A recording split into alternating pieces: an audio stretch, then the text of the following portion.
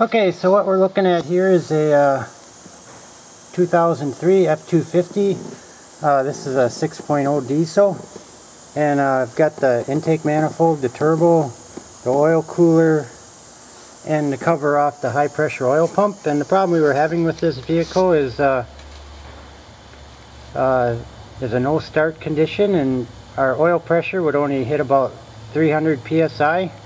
So first took the valve covers off and while cranking was checking for any oil leaks around the injectors or on the supply tubes or anything like that on the oil manifold. And Roy didn't see anything so then we went and took this uh, apart here like this and uh, I'll show you here what I found.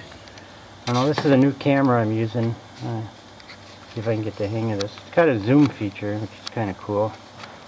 So uh, anyways this here's a high pressure oil pump. This is where the cover is and where you would have your uh, your uh, high pressure valve or pressure control valve would be hooked onto here as well as the uh, high pressure sender. But anyways we just got shop air here and we'll put some shop air into the pump or into the supply line and we'll see what happens. I'm not sure how well you can see that but right there on that fitting I'm probably getting oil all over my lens doing this but anyways uh,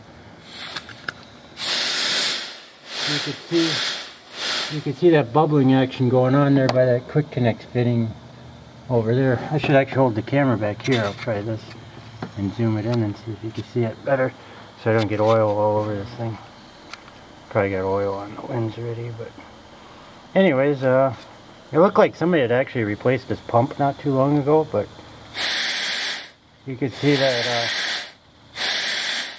we definitely have a leak there by our quick connect fitting and it looks like they even broke part of the part of the that quick connect collar off of there. So uh, I'm not sure. I think at this point we'll probably just go and replace the pump again just to make sure we're good on that and uh, get a new supply line here with some new uh, a new o-ring or new fittings or whatever is in here at the disconnect. So uh, I guess that's about it. You can see right there putting shop air there is uh, definitely uh, that's where our leak is and that's why we only hit 300 psi during cranking. Normally you need 5 to 600 psi on your high pressure oil line on these to uh, to get the engine to start and then once you're running I don't know idle is usually I think around 800 or so and you can go up I think about up to about 2500 psi on the high pressure oil line Again, this is a 03 6.0 diesel. This is my first time with this camera here. The old camera finally kind of had it. And uh, I don't know, see if I can make some more videos with this, if I can get a spot to actually put a tripod on this camera.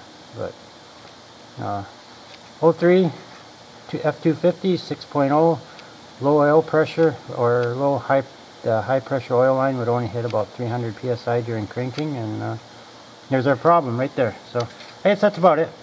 Uh, let's see here. Okay.